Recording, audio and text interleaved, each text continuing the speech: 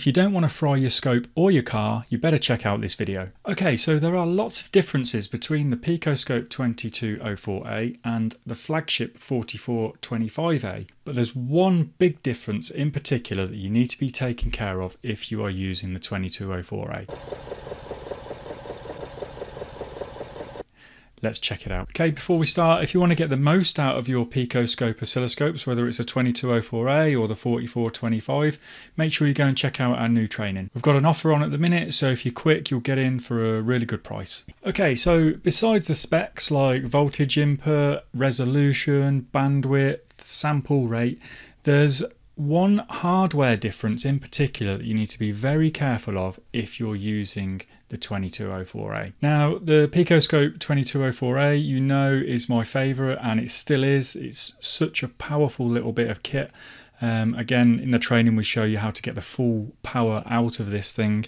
However, there's one thing you need to be careful of, and that's with the grounds. So, on the uh, inputs on the BNC here, the outer bit is actually the ground, and each one of these is actually connected together. It's known as a shared ground or a common ground. However, on the 4425A and uh, a lot of the other most recent automotive oscilloscopes, they have something called floating grounds or individual grounds, where each of the grounds on each channel is independent of the other. Now, this is one of the main features of the automotive scopes, and we're going to have a look at that in a minute. However, that wasn't always the case. So, some of the older Picoscope automotive oscilloscope also had shared grounds. And as far as I'm aware, it's probably only in the last 10 years or so that they've actually moved to a floating ground setup. So why is this so important? Okay, so you can see on the screen now that we've got a image of a conventional kind of injector electrical setup. So we've got the engine control unit here.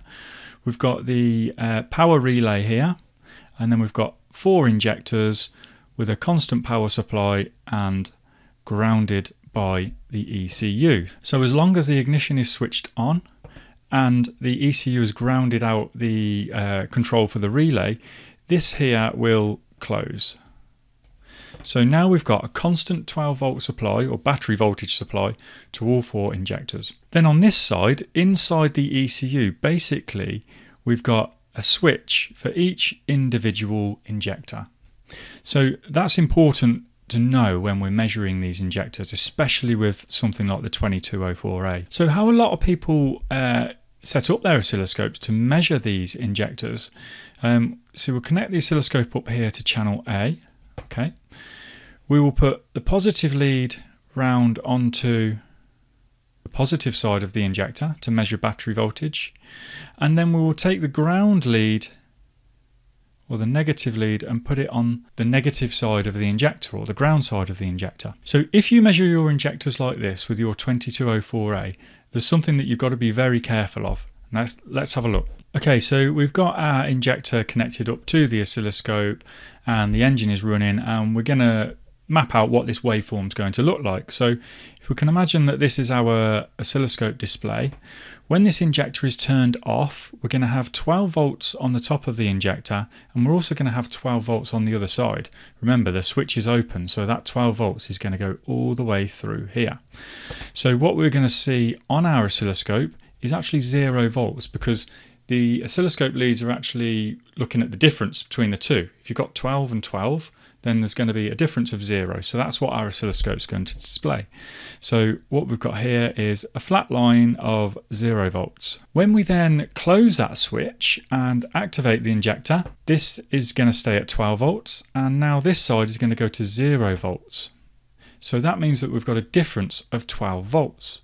So our oscilloscope display will display a line up for 12 volts for as long as the injector's turned on. I say 12 volts, I mean battery voltage. Then what's going to happen is we will then turn the injector off. Okay, that voltage then is going to go back to 12 here. So we've got 12 and 12. So we will then get the oscilloscope display going back down to zero volts. What we'll also get is that spike that we're all used to seeing. Like that. Now, this image here is probably not quite what people expect to see when they measure injectors. They're expecting to see the image that's flipped up the other way around. And some people, what they will do is actually flip those leads around. That is actually a really bad idea and we're going to have a look on the car in a minute. So why is measuring injectors like this such a problem? Now if we think about it, when the injector's turned off we've got 12 volts on this line, which means we've got 12 volts on the negative side of the uh, scope leads.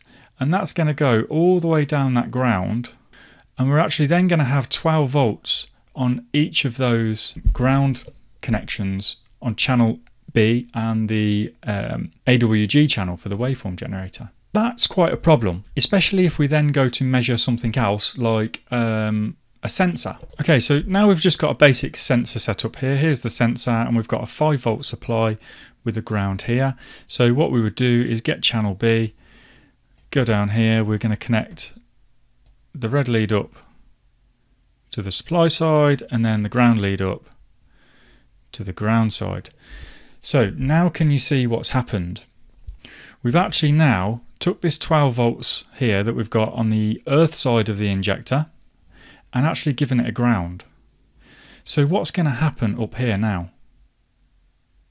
This injector is actually going to be powered on constantly because we've bypassed that switch inside the ECU. See, the injector should always get its ground through the ECU. However, what we've just done is give it a ground through the scope itself. Now in cases like this, what you'll probably experience is the engine will start misfiring. However, in more extreme cases, depending on how much current is going to go through that circuit, you could also damage the scope. Remember, these oscilloscopes, they've not got, um, you know, big heavy duty wires in here.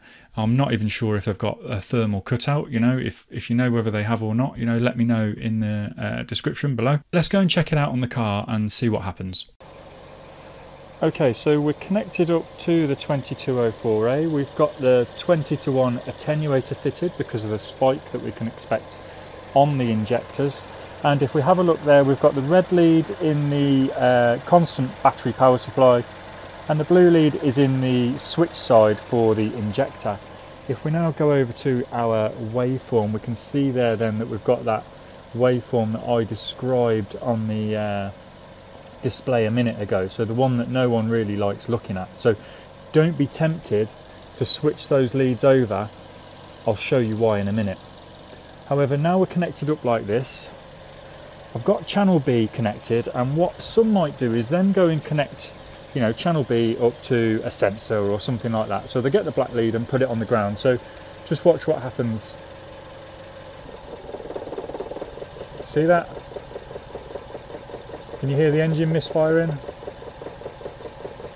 Not good. So basically what's happening there is that we've got that ground side connected all the way up to here and basically we're grounding that injector through channel B. So that's why that was happening. Some people might have come across that before when taking their measurements. Right, let's swap these leads over and then see what happens. Okay, so all I've done is just swap those leads around. You can see now that red is to black and black is to red. The waveform is showing us something that we're more comfortable with looking at. However, if we look at the actual voltages on there, they're exactly what I said. You know, we've got zero and then it drops down because it's, it's the other way around. We've, we've switched it over. So now what I've done is I've got that ground lead off channel B and I'm going to be very careful. I've put a fuse on it because I have a feeling I know what's going to happen. So let's, oh, straight away, popped it straight away. This is something that you've got to be very, very careful of, especially when taking measurements with the 2204A, as much as I love it. Well, there goes my warranty on the 2204A. I hope you all thought it was worth it. Um, all joking aside, make sure you go and check out that training where we have a look at how you get the most out of uh, those picoscope oscilloscopes. And we've also included a second course which goes through automotive oscilloscope diagnostics. So go and check it out. Links in the description below.